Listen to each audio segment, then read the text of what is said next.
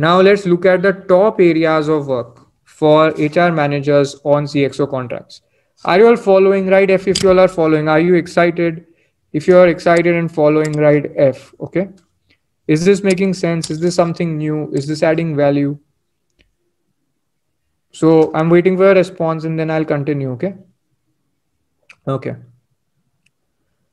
Got it. So one point one, okay? Creation of golden handcuffs to encourage loyalty. Do you know what a golden handcuff is? A handcuff is, you understand, right? That the person is handcuffed, limited. But why is it called golden handcuff? It's golden because it's luring, it is lucrative. A golden handcuff is any term in your employment contract that incentivizes loyalty, staying back, so the person gets a reward, not now, all kinds of deferred rewards. Anything that says to the person that after three years, your remuneration will increase to this much if the company grows to this level. Okay. So anything that will increase the staying longer of the person. Okay. These are called going uh, golden handcuffs.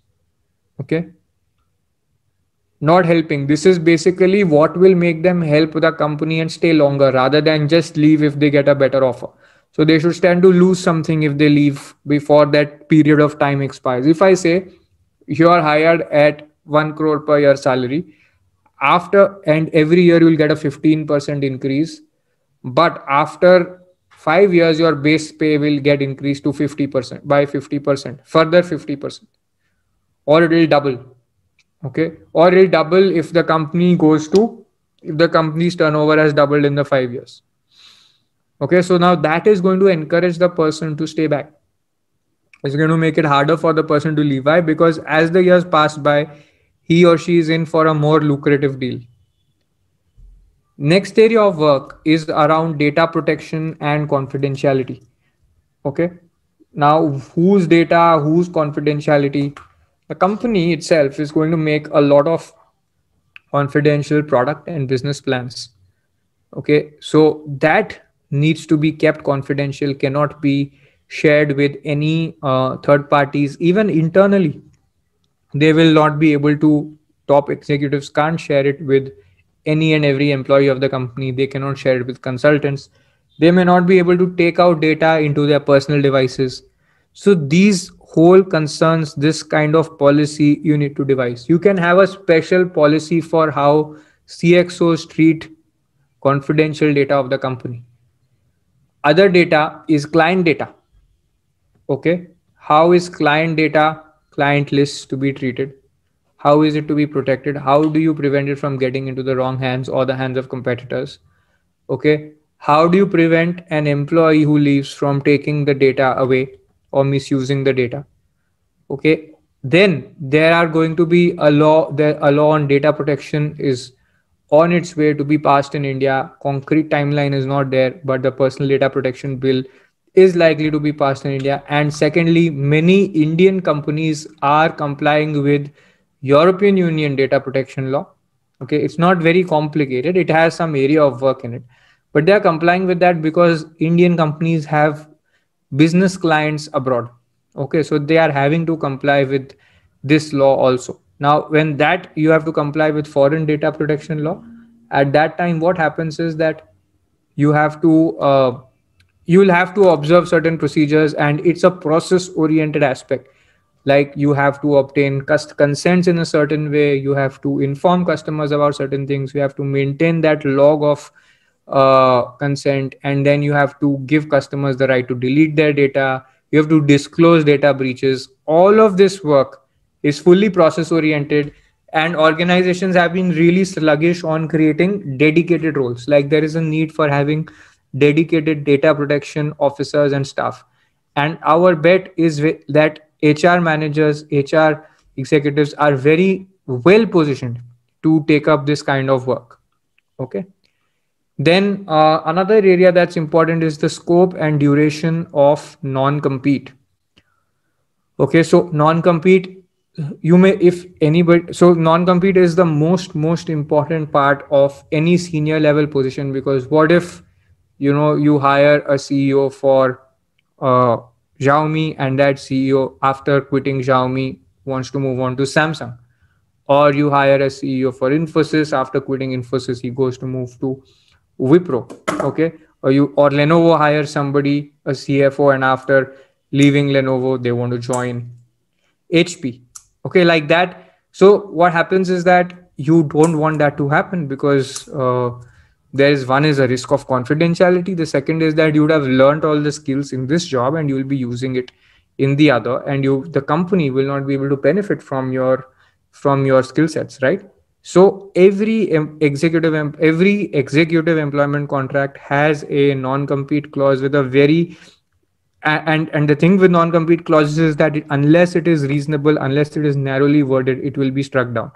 So the negotiation is usually on keeping it narrow enough to uh, be to be reasonable, and uh, on getting the consent of the executive that you know this much we want, and the company will have a specific interest. If you look at any company, they will be very clear that you should not work in A, B, C, D competitors at least. That's top level priority. So if you say that you will not compete with us, maybe not enforceable. But if you identify three or four com- companies where the person won't work, then it is easier to enforce. Okay. But this is negotiated and this has to be defined clearly. Okay. Legal team will draft the clause. That's not the point. The point is that if you say that we want our non competes to be like this for each position, that HR is in the best position to identify. Why? Because you've been doing the recruitment and headhunting. You know which are the competitors in the market for your company you know all of that okay so you're the first place of information for this again this scope and duration of non-solicit okay so including breaches so what is what is non-solicit? Anybody wants to explain to me what is non-solicit? Briefly you want to write on chat? Non-solicit what is it? Okay so it is preventing your team members, any person in the company, any employee or any consultant from uh, from leaving the company or having another person or collaborating with another person independently okay or encouraging the the vendor to terminate its relationship. Okay so imagine one person wants to leave the company and he says he hires the contractor the designer of the company in in which he has left. Okay now the company will have a problem with this. Why? It'll be like why are you using our designers? This is encouraging people to leave and our designers only benefit and they are getting private contracts. They are working for us but other they're getting private contracts from ex employees of the company. Companies won't want that. So the, again but you cannot uh, forever discourage this. There has to be a duration. There has to be a limitation. How much time can you do it for? And whom will you not work with for what time period? Okay? That has to be very clearly defined. Will you not just work with employees or will you also not engage consultants of the company? Third party vendors may have little to do with the company's work except a small contract with them. So will you encourage them to not work with such third party vendors also? Then tracking whether it is being breached or not.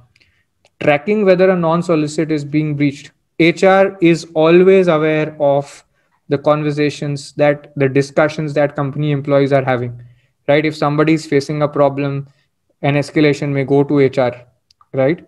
Now therefore hr is going to know ki boss ye quit ye this person is being exploring these things. And there is a risk that you know some there can be an issue of non solicit being violated.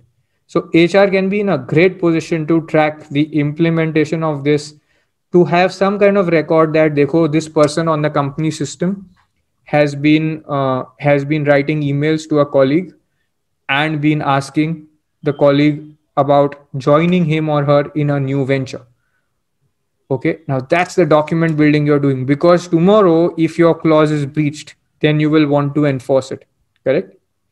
So this is a very important clause from hr perspective. You can draft it. Drafting skill is most welcome. You will also track breach and you will implement it. So you may want to implement it through your code of conduct. You may want to include it in your HR handbook and build a training around it and then certify the employee that he's he's done this work. Okay, that he's understood this.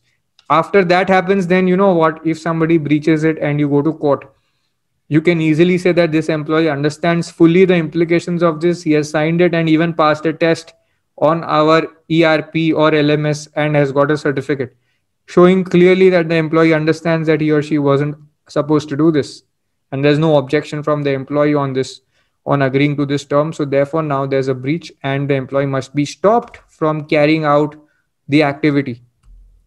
So that will prevent the employee from working with his or her colleague which is basically another employee of yours. So you will minimize the damage. You can't stop an employee from quitting but you can stop the collateral damage if the from this quitting employee soliciting your co-employees right